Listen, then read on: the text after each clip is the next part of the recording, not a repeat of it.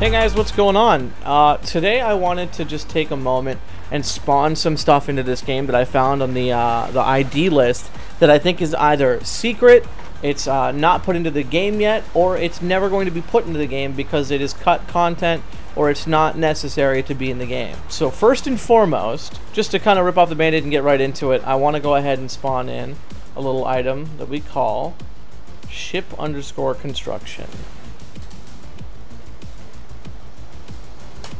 Now the interesting thing about this is it immediately fills the terrain in below you.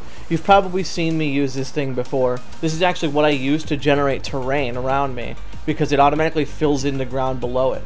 And it's got these stilts holding it up too, which I think are kind of neat.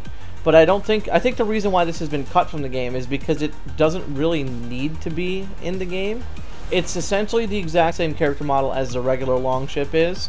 Uh, and uh, it's not accessible right now, but after about a minute, it becomes a regular ship. It just starts kind of kicks off of the uh, landscape here and becomes a regular ship again. So I think it's just kind of a redundancy in the game that they're probably going to get rid of completely at some point. And now it has become a real ship, so you can see. I can interact with it, I can pilot it, although there's not really much point. Alright, so next we're going to spawn in another thing that's interesting. You might have caught it out the corner of your eye here. And it is called the trailer ship. Boop. And I think it's really neat because it's got all this cargo in it. It's got this canopy over the top. Here's the problem. You can't steer it. It's inaccessible for driving. So there's nothing you can do to actually pilot this thing or move it around. Uh, I think that really what the reason why this is in the game is because they're experimenting with this as their template with customization. I think that maybe we're going to get customizable canopies, and these on the on the sides here are actually used in a trailer that I can show you right here, and they have shields filled in on these little circles. They actually have shields filled in on them, and I'm assuming that we're going to be able to kind of put whatever shields we want into there uh, at our own discretion. So I think that's kind of neat. Alright, so the next thing I'm going to show you is something that I find particularly interesting uh, because I think it's a relic of a, a, previous game or a previous test bed that the uh, developer used. It's called the Toroko Flyer. So this is cool because it's a little spaceship.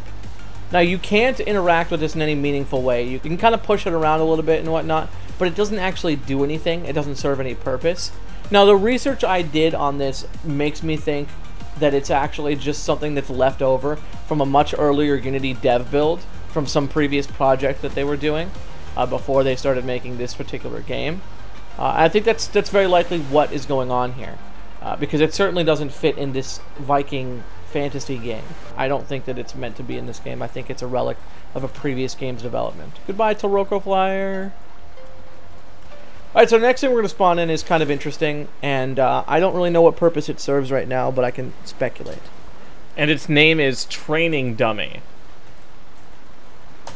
Now this is obviously not something that we can spawn in ourselves, but this little guy here is here to, you know, take all the punches. And I think there's two things that are interesting about this guy. One is that I believe this is a Draugr. I think what this is is an early version of the Draugr before they decided to go with a little bit more of a realistic art style for the game because he clearly does not match the way that we look. He's got these kind of flat, you know, undetailed, non-detailed ends and, and whatnot. So I think maybe at some point they dabbled with an even simpler art style than what they've gone with here. Not to say that this art style isn't good. I think this game's art style is fantastic. Uh, but I think that's just a relic of uh, a previous, you know, period of development. It's interesting because he actually has like AI, because you can see his head is kind of following me around right now. But he doesn't much care for the attacks I'm throwing at him. I think what this exists for now, though, is I think it's just a way for them to test the damage tables on individual enemies and whatnot uh, internally. I don't think it's meant for us to use in any way, shape, or form. The next thing I'm going to spawn in is just a, a silly little one. Take a look here. It is just called Bucket. Mr. Bucket. Buckets of fun. Uh, I haven't seen this in game. Maybe it is in game. I just, I personally have not spotted it in any in any place that I've gone to. I think it's cool that it has interactable physics, but other than that, it doesn't serve any purpose. You can't pick it up. You can't use it, but you can knock it in the water and uh, never see it again. Goodbye, bucket. Alright, so the next thing I'm going to show you is actually something that I'm currently wearing right now. It's called Cape Test. You probably see that it looks like crap on my back here, but that's just the object as you can see it below. That's what it looks like before you've picked it up. This is quite literally the cape that I'm wearing, and I think that the reason why this exists is just for them to test out capes and test out physics for them and the models and whatnot. It is clearly in a very broken state right now because it's clipping through my shoulders and it's not really meant to be used.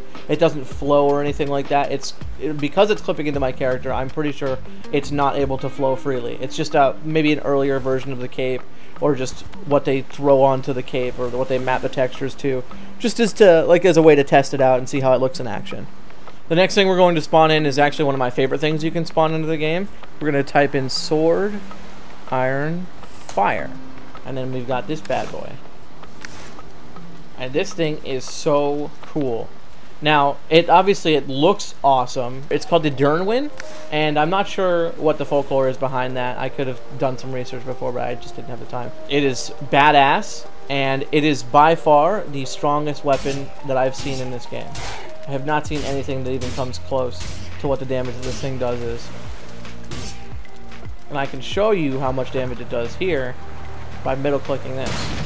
It does absurd amounts of damage. It just did 210 damage to this structure. I'm a big fan, and I'm curious to know how it's going to come into play. It's actually crafted using a material called flametal, which is interesting because it's in the game, that material, but it's not currently usable for anything. So my opinion is that this is actually just going to be some end game tier content uh, that people are going to use to tackle the final bosses or what have you.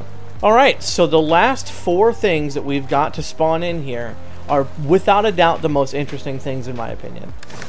So the first thing we're going to spawn is going to be an item called Tankard Odin. And you can very clearly see that it is quite literally just a tankard. It's a horn for mead. Problem is, you can't use it. DLC required. So, if I'm understanding correctly, these items, which I'll spawn in the next one,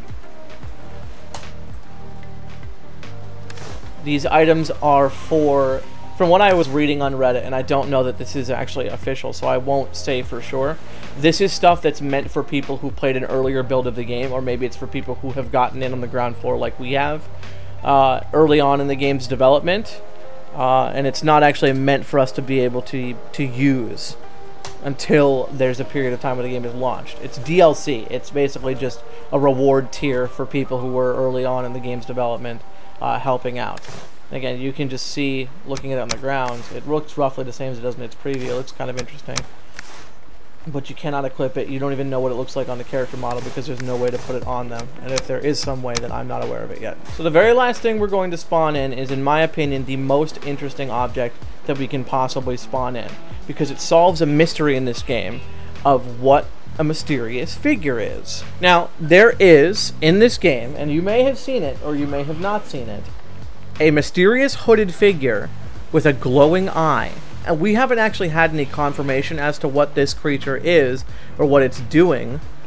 But let me tell you that when I type F5 and choose to spawn Odin into the game, he appears for a second. I'm to keep just kind of spamming him spawning in right here just so you can get a good look. I'll tell you what, we'll do this. We're to set it up so we can get a nice good look here.